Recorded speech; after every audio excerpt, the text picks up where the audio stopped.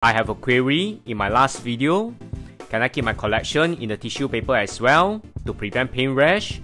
The answer is yes. A tea filter bag is also a very ideal option to prevent moisture. You can get this easily at Daiso. 100 pieces for $2.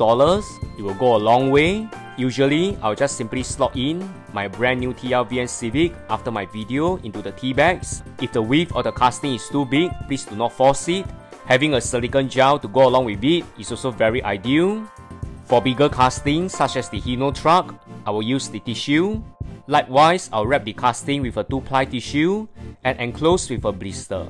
A silicone gel pack to go along with it will also be a bonus. For those who don't, hope you can share the video and pass the tip around.